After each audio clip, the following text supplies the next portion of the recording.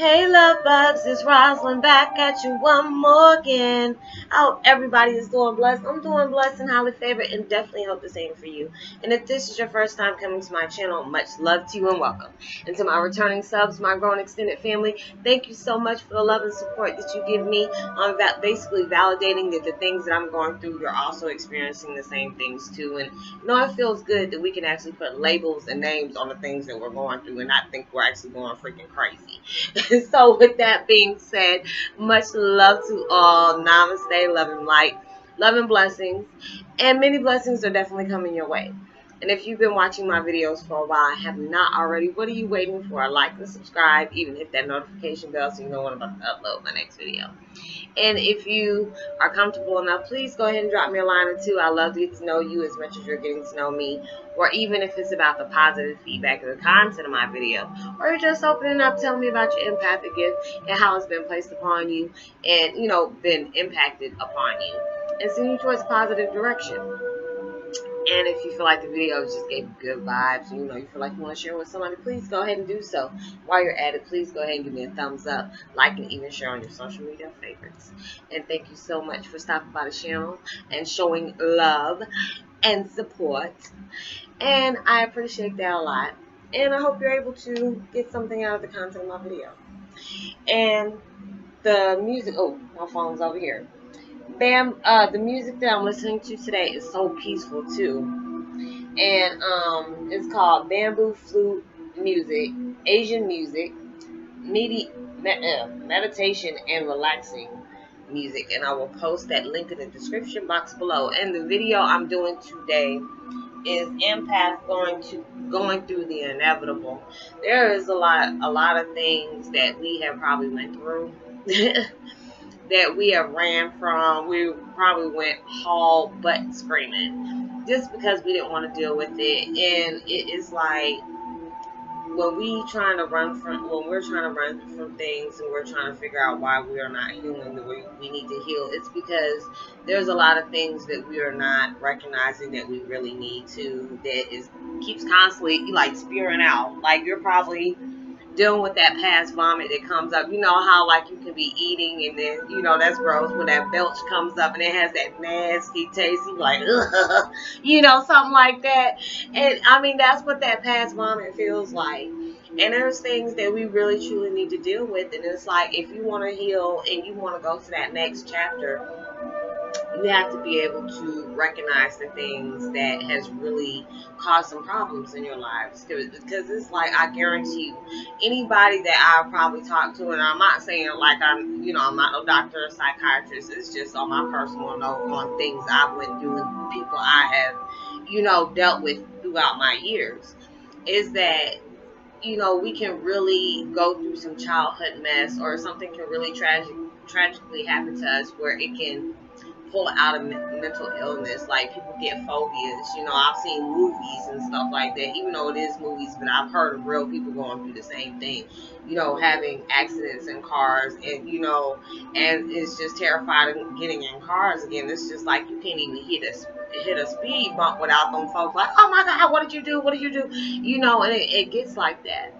So it's just like, you know, when you get into it, it's hard to do that, especially if you got into a car accident. I've been in so many car accidents, and it's like, it's terrified me to have to get on the road.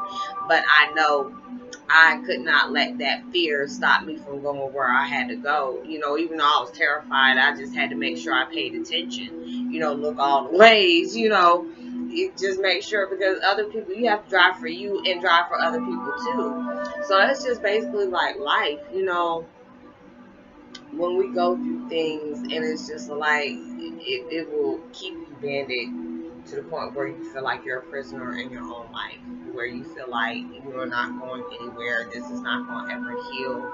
And you have to really, and I mean, I have to tell myself that too, because I mean, dealing with what you got to deal with. I, like I said, I tell y'all a lot. I don't know your situation. You know your situation. You know what you have been through. You know what things still trigger you. You know what things you have let let go of. But there's things that you probably are still dealing with that you know has really messed you up. Where it's just like, why can't I, you know, why can't I get through this? Why can't I get over this? Because it's a process, especially if it's something that you know that is it is unavoidable. You have to deal with that. It's just like it, it, it's just like I tell y'all when I watch movies. I there's times I have been watching stuff and it will just like it's like hitting the gut. Like I, I had to grow a pair of gonads and they were just like just steady getting hit from just movies that I watch. Like, dang, you know, I'm dealing with that. And, it, I would just run from it like, you know, this is really messed up. I didn't even want to deal with it. It, like I told y'all, that happened to me this week around this time. Just dealing with stuff like that and I know there's things that I really have to deal with that trigger me to the point where I get emotional at times, you know, because there's stuff that I'm still not,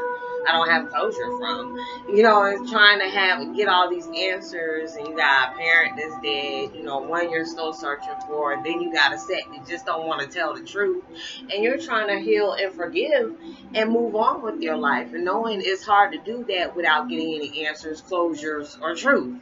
So it's just like you have to be able I have to be able to forgive these people for what they did to me. And I'm just like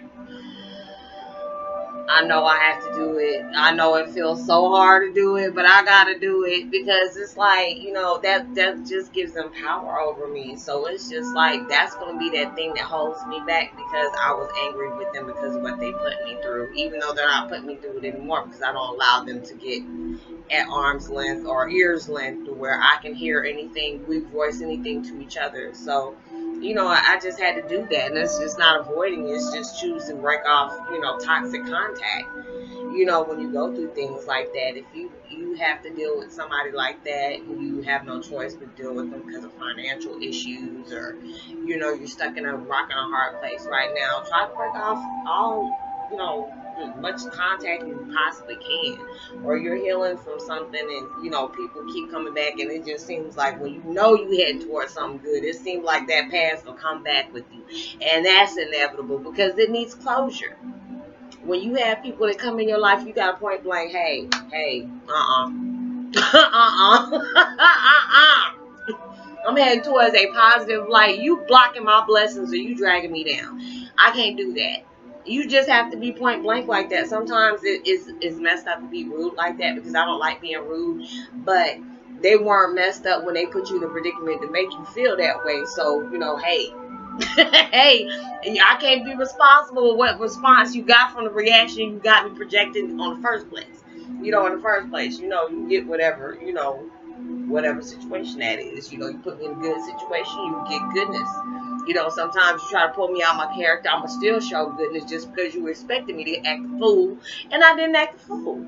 So it's just like, you know, you have to really be thinking about stuff like that because it's like, well, like I tell y'all all the time, when we go through stuff, it is a test when it tell when you say you got patience and stuff like that, or oh, I'm not gonna let just anything get to me. Something I guarantee you, something will get in your path just to piss you off, just to see if you're gonna get mad at it. we're like, okay, well, you know, such and such said they weren't gonna get mad about this no more. Okay, well let me go ahead and throw this dice and get bring that bad luck back into their life and see how they react to it. Now, if you be grateful for those situations like that, you know, be mad about it for a quick second and say, you know what, it could have been a lot worse, got over it. And the universe like, see, okay, such and such is learning now.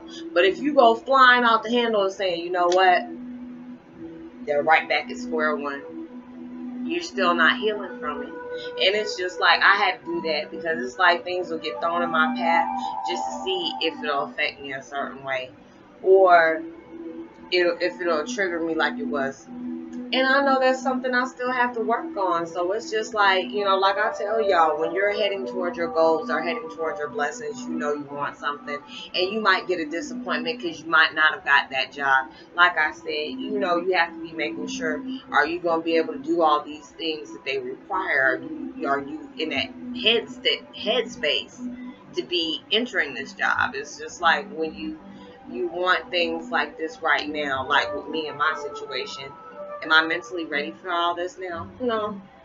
But I'm getting there. You know, dealing with stuff like this, especially with when you know you're dealing with celebrities and you know stuff that still has not been closed, you have to have a tough skin for it. And I had to start becoming having, start becoming having all that other stuff of getting tough skin because there are so many things that's been thrown at me about my father. You know, negative comments, you know, laughter, and you know, at first that stuff really got to me. Now it's just like I can laugh it off and just push delete because it's like whatever. I know I'm pushing out positive positivity. I know I'm speaking truth. I know the word needs to get out there. I know there's people there's people out there that actually genuinely appreciate the things that I tell them because it's helping them along their path. So, you know, do heal yourself where you need to heal. Let go of things you need to let go of. I tell myself this every day because you have so much more better you know better blessings coming your way if you can just let go of that negative anger that has held you back for so long. Be able to let those folks go or who, whatever has gotten you to that point where you have put walls up for certain things. Be able to tear those walls down. Don't allow that to have power over you anymore. And I have to tell myself that, you know, same, same every day. So I hope you are able to resonate with the content of my video. Much love to all. I hope y'all have a blessed weekend. God dog, it just seemed like I just told y'all have a blessed weekend a few days ago. It's like time's going by fast. So, you know, send out as much love and light and positivity as you possibly can. Know that you are blessed, highly favored, and truly loved. And know that blessings are definitely coming your way sending out some infinite abundance, uplifting vibes, and loving vibes, and healing vibes, especially if you truly need them. And like and subscribe, even hit that notification bell, give me a thumbs up, like and even share on my on your social media favorites. Give me a you know, uh, a, a hit up on the line or two. I love to get the chance to know you as much as you're getting to know me, even if it's about the positive feedback, the content of my video, or you're just up telling me about your empathic gift and what how it's placed upon you and hitting you towards a positive direction. And I hope you have a blessed, safe, turned up, but safe weekend. So be responsible for everything you do. I know it's the weekend. You might want to have a beer or two. Hey, you want to might get a token too, but just be responsible and I'll see you on my next video. Peace, love, and be wild.